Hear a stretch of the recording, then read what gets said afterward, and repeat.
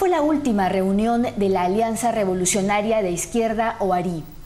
En una foto del semanario Mauta de febrero de 1980. ARI, en quechua, es sí. Pero una madrugada de febrero del 80, los grupos de izquierda en esta cita le dijeron no a unirse en torno a un solo candidato a la presidencia en las elecciones del 80. Esta es la crónica de la época de la revista Amauta.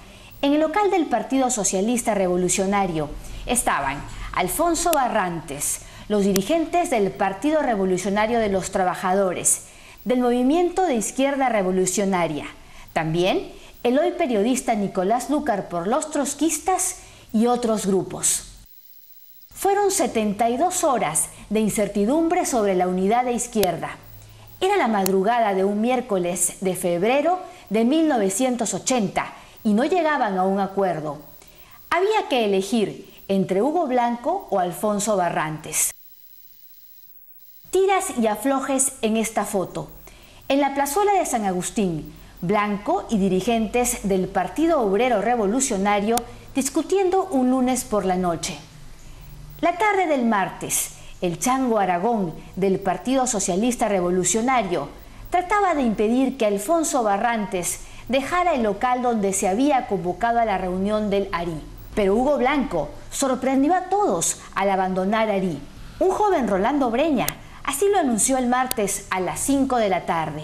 Cuenta el semanario Amauta que luego de una encerrona con los dirigentes europeos de la Cuarta Internacional Trotskista, Hugo Blanco se decidió por la ruptura. Lo convencieron de que debía liderar una candidatura presidencial trotskista y sin ningún aliado. Luis Fabre era uno de los trotskistas que vinieron desde París.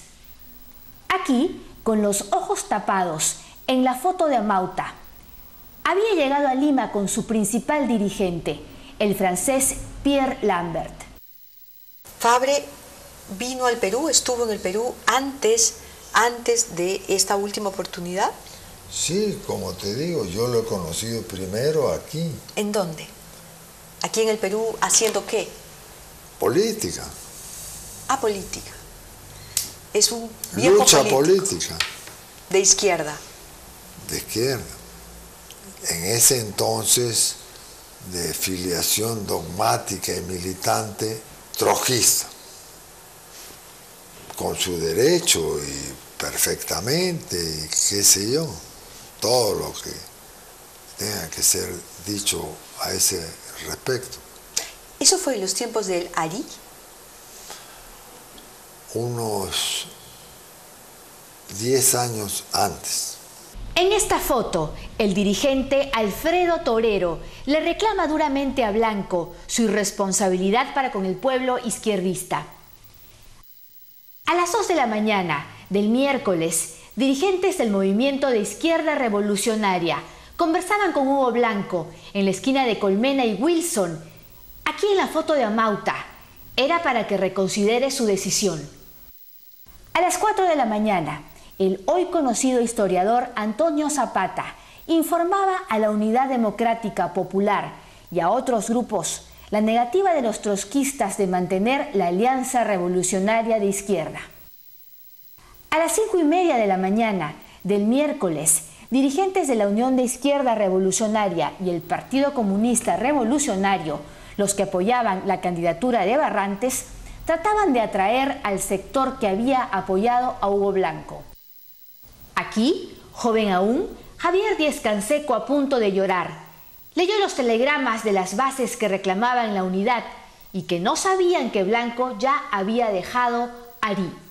Uno de los cables decía, la historia juzgará traición si rompen Ari. Blanco escuchaba silencioso, sentía sobre sus hombros el peso de la ruptura de Ari, comentó el semanario Mauta. El miércoles a mediodía estaba perdida la batalla para unir a la izquierda peruana en las elecciones de mayo de 1980 a través de Ari.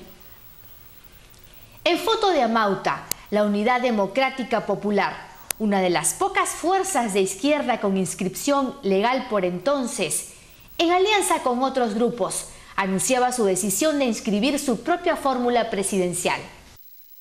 ¡Qué vergüenza, compañeros!